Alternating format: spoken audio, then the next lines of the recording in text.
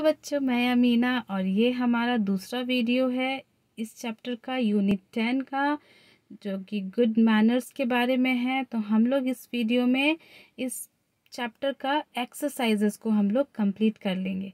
पिछले वीडियो में हमने इस पोयम को पढ़ा, समझा और सीखा कि किस तरह से हम लोगों को अपने लाइफ में गुड मैनर्स लाने चाहिए। है ना बच्चों? हमने थैंक यू बोलना सीखा और हमने सॉरी बोलना सीखा प्लीज़ बोलना सीखा। और तो अब बारी आती है कि उसके एक्सरसाइजेस की। तो चलिए let's read and find out चलिए पढ़ते हैं और ढूंढते हैं।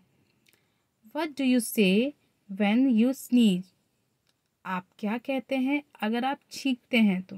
क्या कहते हैं आप? When we sneeze we say excuse me जब हमें छींक आती है, हम जब छींकते हैं, तब हम एक्सक्यूज़ मी कहते हैं। What do you say when someone helps you आप क्या कहते हैं जब कोई आपका मदद करे तो? क्या कहते हैं बच्चों? हम उनको थैंक यू कहते हैं, है ना? When someone helps us we say thank you और हमारा फिर तीसरा सवाल है what do you say when you need help आप क्या कहते हैं अगर आपको मदद की ज़रूरत हो तो क्या कहते हैं? प्लीज़ है ना? When we need help we say please जब हमें मदद की ज़रूरत होती है, तब हम प्लीज़ कहते हैं। और ये था हमारा क्वेश्चंस का आंसर्स अब हमारा नेक्स्ट एक्सरसाइज है।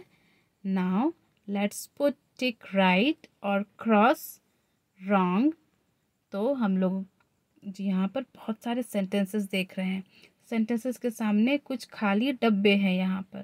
तो इन खाली डब्बों में हमें ये राइट या रॉन्ग को भरना है। तो ये सेंटेंस को हम लोग पहले पढ़ेंगे और देखेंगे कि अगर वो सेंटेंस राइट है तो उसके आगे हम लोग इस डब्बे में राइट का चिन्ह लगाएँगे।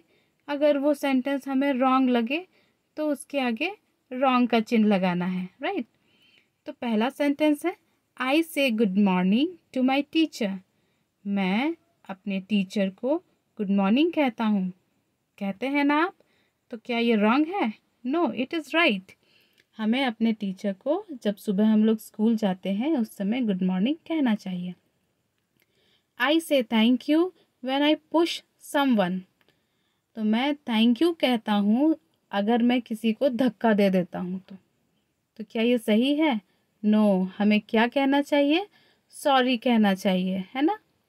I take permission before going out मैं बाहर जाने के पहले परमिशन माँगता हूँ।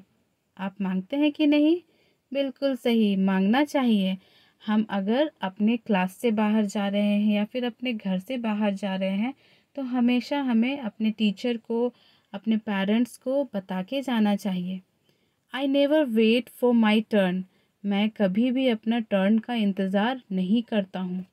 No it is totally wrong अगर आप किसी लाइन में खड़े हैं तो आप क्या लाइन को तोड़ते हुए सबसे आगे पहुँच जाएँगे? तो क्या ये सही होगा? नहीं, बाकी सभी भी तो लाइन में है ना बच्चों।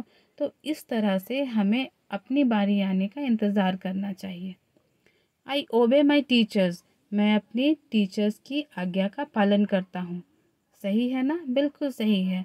हमें हमारे टीचर्स के, हमारे पेरेंट्स की आज्ञा का पालन करना चाहिए।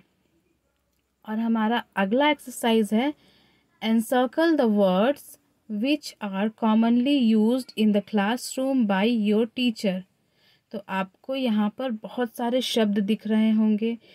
इन शब्दों को आपको गोला करना है। चारों ओर सर्कल बना लेना है। वैसे शब्दों को जो शब्द ज़्यादातर आपके क्लासरूम में यूज़ होते हैं आपके टीचर के द्वारा। तो पहला शब्द है फाइट यानी लड़ाई। क्या ये बहुत ज़्यादा होता है यूज़? कभी कभार बच्चों के बीच में फ़ाइट हो जाती है, लेकिन हमेशा होता है? नहीं, आप तो अच्छे बच्चे हैं। देन स्लीप यानी सोना। आप हमेशा क्या क्लासरूम में सोते हैं? नहीं सोते हैं। कुक यानी पकाना। आप कुछ पकाते हैं क्लासरूम में? नो एंड प्ले आप खेलते हैं? हाँ आप खेलते ज़रूर हैं। तो प्ले यानी तो प्ले को हम लोग सर्कल में डाल दिए। देन जंप क्या आप लोग अपने अपने क्लास में जंप करते हैं? बिल्कुल जंप करते हैं। तो टीचर आपको कहते भी होंगे, है ना? देन सिट सिट यानी बैठना। इसका भी इस्तेमाल होता है। देन प्लीज़ प्लीज़ यानी कृपया हम लोगों को, जब हम लोग किसी से कुछ मांगते हैं तो हम लोग प्लीज़ कहते हैं। हमें अगर किसी चीज़ की ज़रूरत होती है तो प्लीज़ कह के मांगते हैं, है ना? देन थैंक यू यानी धन्यवाद। इसका इस्तेमाल होता है ना? बिल्कुल होता है। सिट डाउन जब टीचर क्लास के अंदर आते हैं तो हम लोग खड़े होकर के उनको विश करते हैं। फिर वो हमें सिट डाउन कहते हैं ना? बिल्कुल कहते हैं। तो इसको भी सर्कल में डाल दिए। देन स्टैंड अप तो फिर अगर टीचर हमसे कुछ पूछती हैं तो वो हमें स्टैंड अप करके खड़े होने के लिए कहते हैं स्टैंड अप ये भी कॉमनली यूज़ होता है।